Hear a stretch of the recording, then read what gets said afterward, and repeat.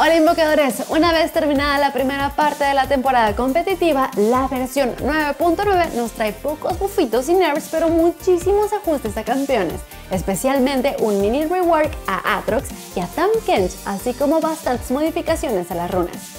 Todos estos ajustes podrían provocar un cambio en el meta del carril superior, así que prepárense. En otros temas llega el MSI y con él un nuevo aspecto de conquistador. El campeón que recibe este honor es nuestra vaca favorita, Alistar. En esta versión estrenamos una nueva sección que llamamos Universo LOL, donde podrán enterarse de todo lo referente al mundo de Runaterra y sus champs favoritos. Para comenzar, hablaremos del cómic más reciente y daremos el primer vistazo al nuevo campeón.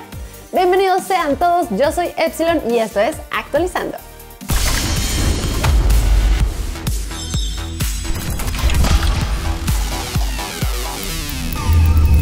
En esta versión comenzamos con fortalecimientos para Maokai y Darius, así que esperen verlos más en el carril superior.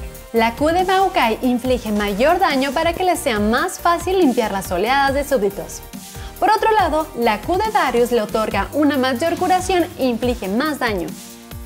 Para cerrar esta breve sección de fortalecimientos, hay modificaciones a Silas y Lisandra, quienes quedaron muy débiles después de la nerfeada en el parche 9.7.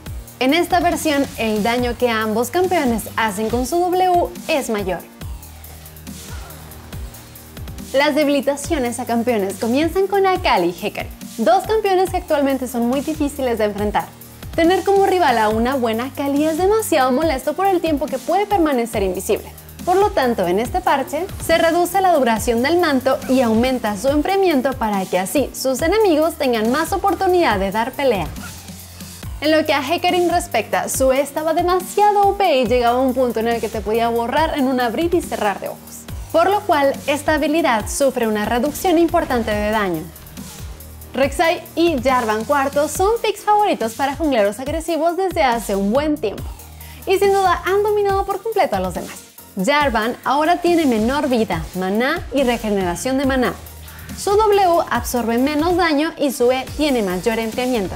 Rek'Sai, por otro lado, tiene menor daño de ataque base, menor tasa de crecimiento de daño de ataque y se aumenta el enfriamiento de su Q bajo tierra.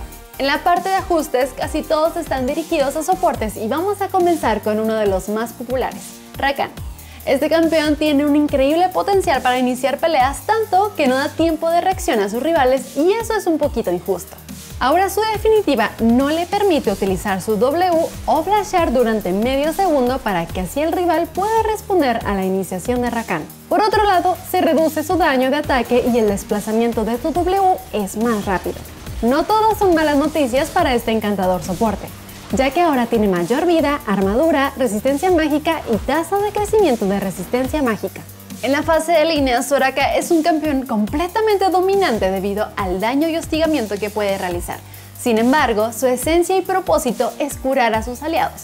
Para regresarla a estos términos, ahora su Q tiene un mayor enfriamiento en niveles bajos, pero otorga una mayor curación y velocidad de movimiento, ya sea para ella o para sus aliados.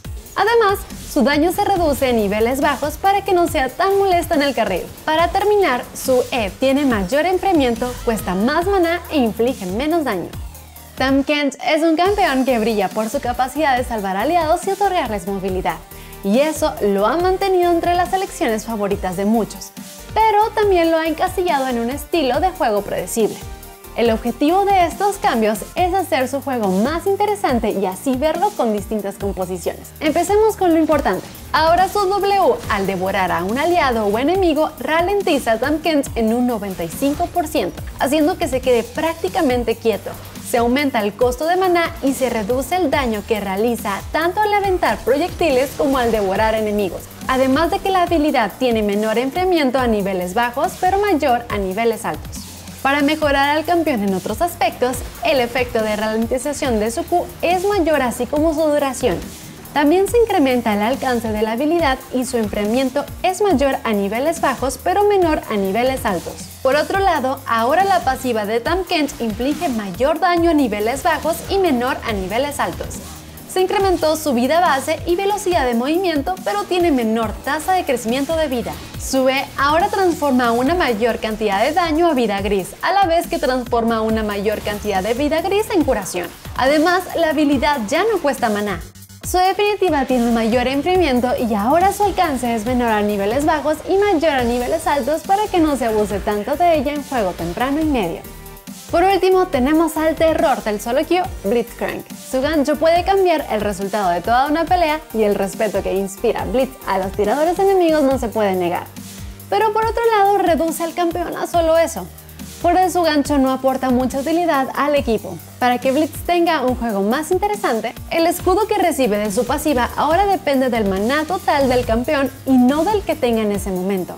Por otro lado, su definitiva ya no lanza rayos de manera random a los enemigos. Ahora mientras que la R se encuentra disponible, los ataques básicos del campeón marcan a los enemigos y hacen que sufran daño luego de un segundo. Tenemos dos ajustes en el carril superior. Comencemos con Atrox este campeón no encuentra su lugar en la grieta con el kit de habilidades que tiene actualmente. Puede ser muy frustrante pelear contra él debido a su definitiva que lo devuelve a la vida, pero a la vez es muy fácil de hostigar y mantener a raya.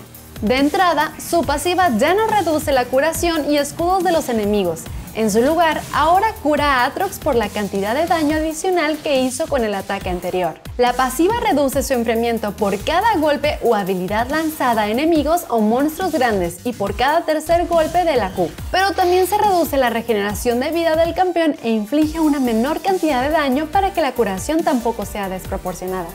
Pasando a su Q, esta habilidad tiene menor tiempo de enfriamiento e inflige mayor daño pero el enfriamiento ahora comienza a contar desde el tercer golpe en lugar del primero. Su W ahora tiene un mayor enfriamiento y ralentiza una mayor cantidad a niveles bajos, pero menor a niveles altos. En el caso de la E, la habilidad ya no otorga daño de ataque adicional al utilizarla. Y finalmente, el gran cambio se definitiva. Esta habilidad ya no otorga velocidad de movimiento por un segundo luego de utilizarla, sino que se obtiene a lo largo de toda la definitiva, sin embargo, esta va disminuyendo. Obtener asesinatos cuando está activa hace que la velocidad de movimiento se restablezca e incrementa su duración por 5 segundos. La definitiva tiene un menor enfriamiento, un menor tiempo de lanzamiento y al revivir, el campeón es ralentizado en un 99%. Esto quiere decir que se va a quedar prácticamente quieto mientras revive. Y un pequeño detalle más. Atrox ya no recibe este beneficio a menos de que haga un asesinato o asistencia durante la duración de la habilidad. Escucharon bien, para poder resucitar tienen que llevarse la kill o asistir en una. Para terminar esta gran sección de ajustes tenemos al pequeño pero letal Kenneth. Este campeón la estaba rompiendo debido a la tendencia de maximizar la E en primera instancia, la cual le otorgaba resistencia mágica y armadura además de velocidad de ataque para activar la cleptomancia con ataques básicos. Para modificar esto, las resistencias que otorgaba la E de Kennen se movieron a la definitiva. Este cambio puede parecer menor, pero hará que no la pasemos tan mal cuando nos enfrentamos a este champ. El primer cambio que tenemos en la sección de runas es para réplica, una runa que muchos odian porque hace que cualquier campeón se pueda transformar en tanque por al menos unos segundos. Para que los campeones acarreadores que no se armen resistencia no abusen de esta runa, les estamos hablando a ustedes main raíz. Ahora réplica otorga una menor cantidad de resistencias base y escala según las resistencias del campeón. A su vez, el daño que inflige ya no aumenta con el daño de ataque y poder de habilidad del campeón. Siguiendo con la rama de valor, otra runa que viene con cambios es Coraza Ósea, la cual ahora bloquea una mayor cantidad de daño. En el árbol de dominación hay mejoras a tres runas que se encontraban un poco rezagadas. Puro Fantasma ahora otorga una carga adaptable cuando revela un rival. Cazador Definitivo otorga una mayor cantidad de reducción de enfriamiento a la definitiva por cada acumulación conseguida. Y por último, Cazador Implacable otorga una mayor velocidad de movimiento al estar fuera de combate. Para cerrar la sección, la runa Calzado Mágico ha sido la selección favorita para casi todos los campeones debido a la utilidad y oro que provee. Para que otras runas puedan estar a la par, ahora las botas se obtienen al minuto 12, a los cuales se les resta 45 segundos por cada participación en un asesinato. En esta versión hay un par de cambios a la jungla que vale la pena mencionar. El cangrejo del río ahora aparece al minuto 3 con 15 segundos en vez de aparecer al minuto 2, para que los junglas no piden ayuda a sus carrileros cuando estos son nivel 1 o 2 y no tienen la capacidad de ayudarlos. Por último, se quita del juego la poción del cazador ya que en el meta actual no viene mucho al caso.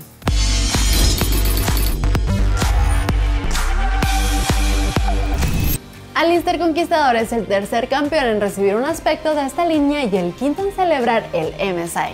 Recuerden que los primeros skins en conmemorar esta competencia se llamaban retadores. Lo primero a resaltar de este aspecto es la poderosa armadura que cubre al campeón en rojo y dorado, los colores clásicos de la línea Conquistador. La marca que Alistar deja cuando aplasta el suelo también hace referencia al MSI, y miren más los escudos que lo cubren cuando tira su ulti.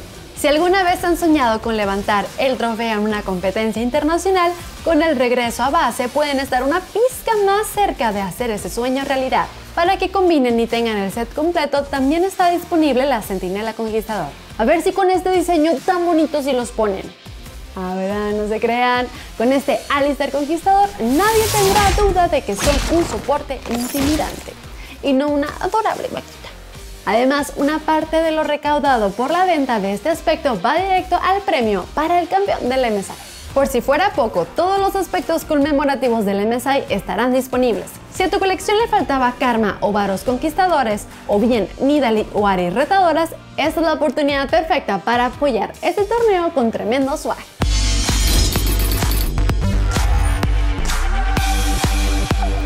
Después de Ash Matriarca que nos llevó a través de la historia y origen de la poderosa tiradora de Freljord, ahora en esta nueva serie de cómics cambiamos de región para conocer más de cerca a varios de los personajes más queridos del universo de LoL. En esta nueva entrega de historietas nos ubicamos en Demacia, el reino de la justicia eterna, siempre y cuando no seas un mago. La protagonista, por supuesto, no podía ser otra que Lux, y sin spoilers les adelanto que la historia nos habla de cómo ella descubre sus poderes y los mantiene ocultos de su hermano Garen, hasta que cierto mago prisionero del reino, un tipo guapérrimo llamado Silas, le enseña a usarlos a cambio de... Les dije que sin spoilers. En este nuevo cómic también podremos ver a personajes como Jarvan o al mismísimo Galio, así que estén pendientes de estas páginas llenas de emoción, acción y romance. Invocadores, si ustedes son de los que no pueden esperar el release oficial de nada, así como yo, el futuro habitante de la grieta llega al PvE.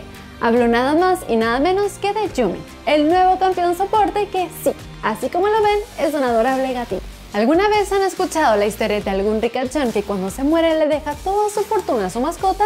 Más o menos así es Yumi. Pues era la compañera de una hechicera que desapareció misteriosamente dejando a Yumi como la guardiana de su poderoso libro. Ahora, esta perezosa gatita viaja por el mundo con el libro mágico tratando de encontrar a su ama perdida entre siesta y siesta.